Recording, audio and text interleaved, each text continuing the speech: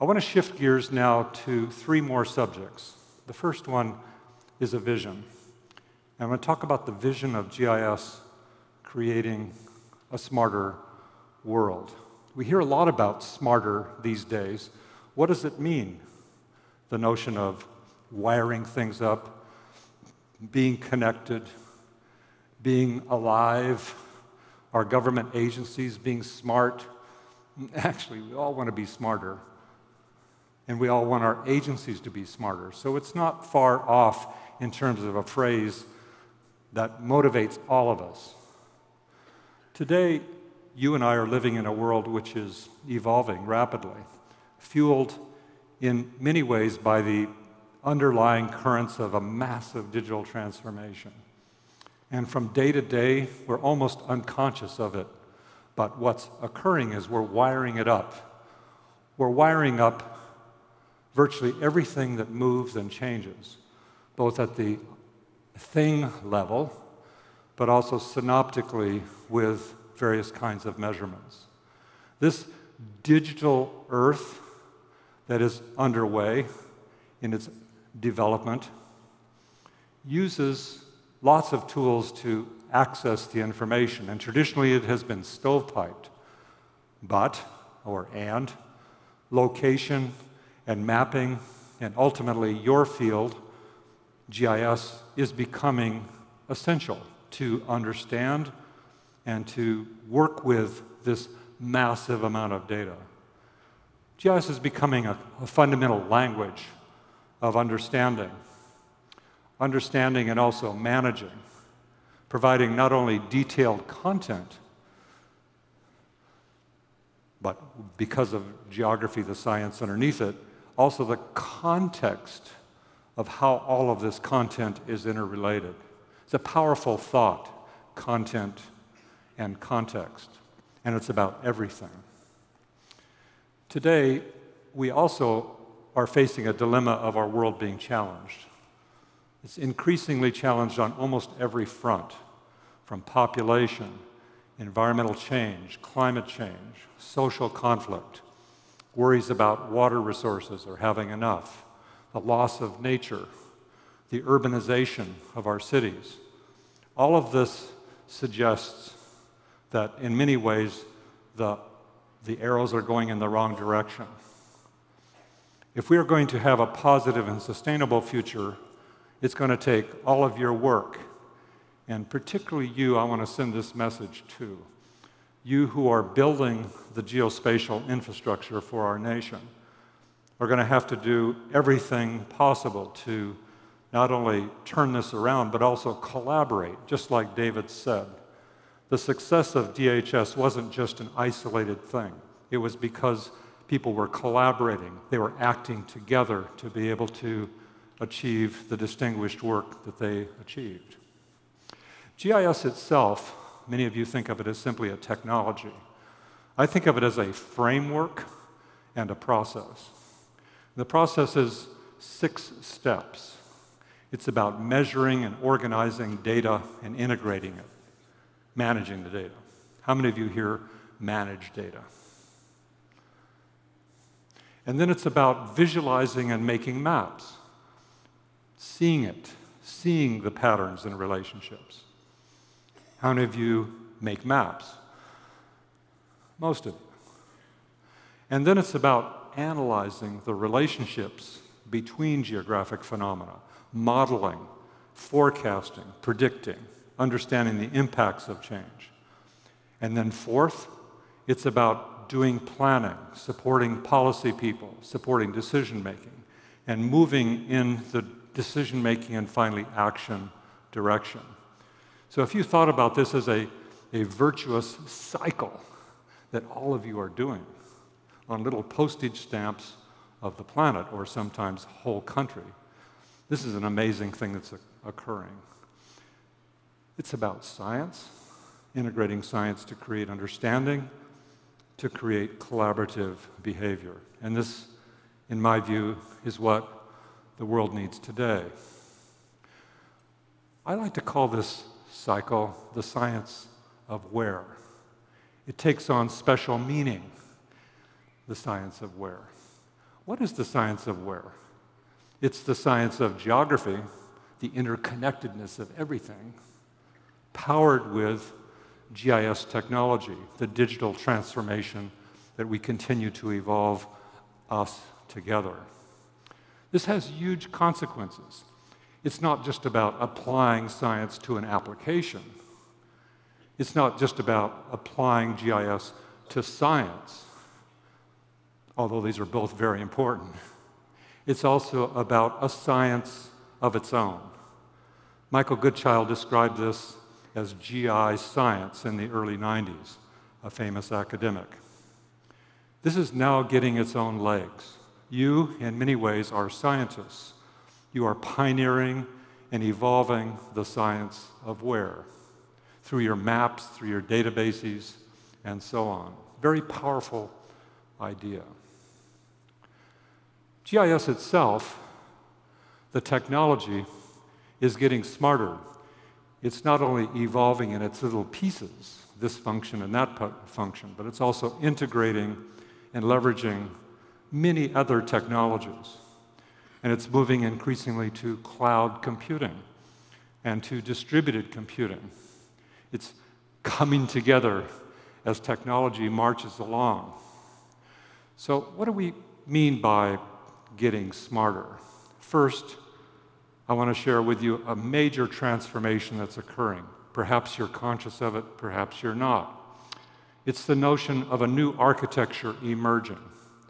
And this is an architecture of distributed services by each of you individuals, shared through services, abstracted through technologies such as the portal, and then referenced so that I can find information, integrate information from many different sources across the web.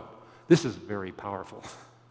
The idea that we can read and access any database, any format, bring it together as we need it, and look at it in apps. That's the notion of infrastructure and requires fundamentally the notion of collaboration, just like David, just like David's organization does.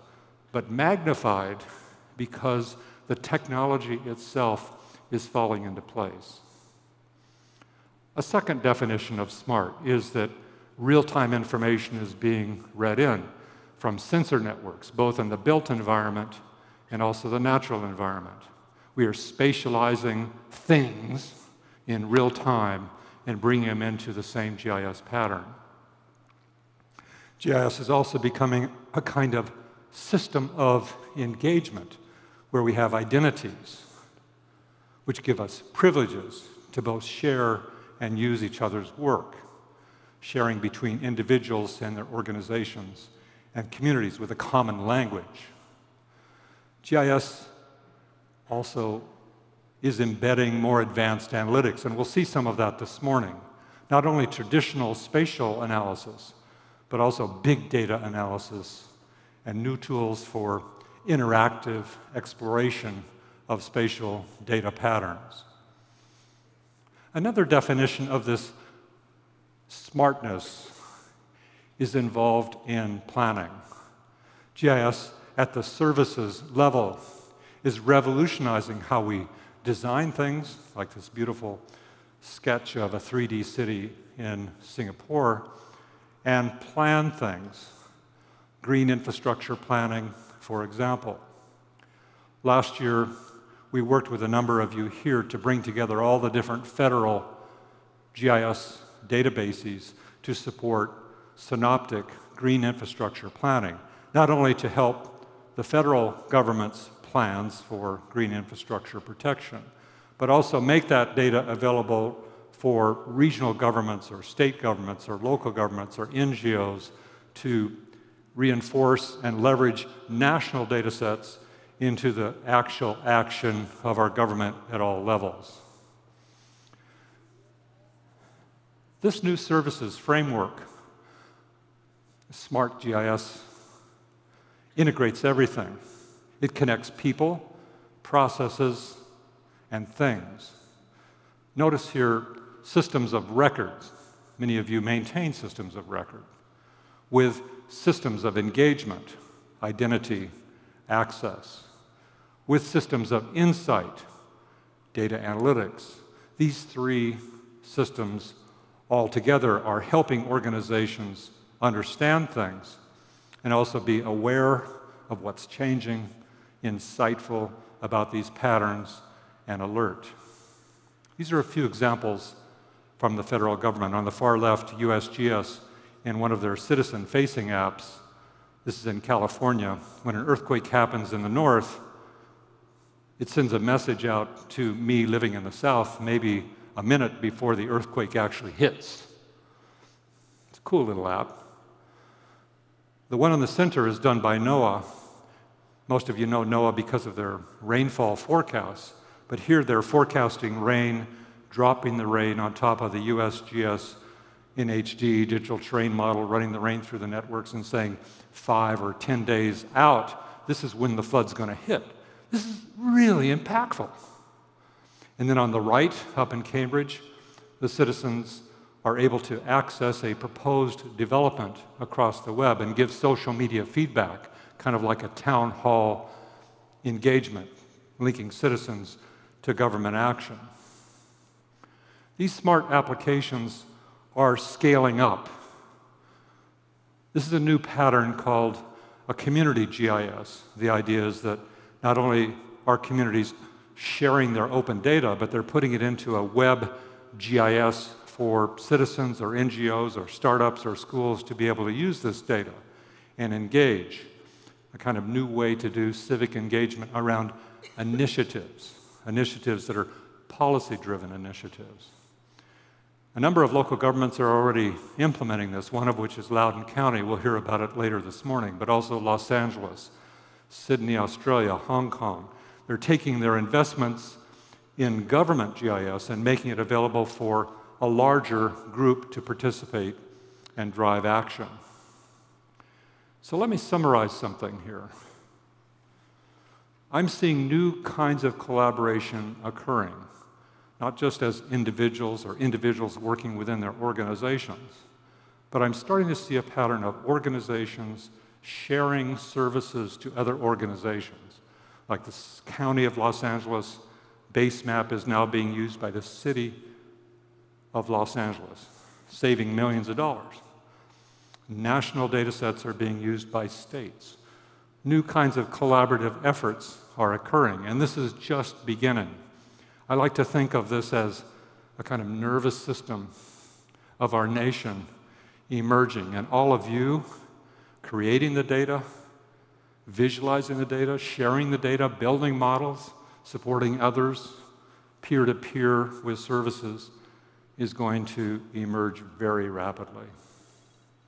So I would conclude this section of my talk by simply saying humans have never been more capable of sharing and applying geographic data, and also understanding what it means, and also acting.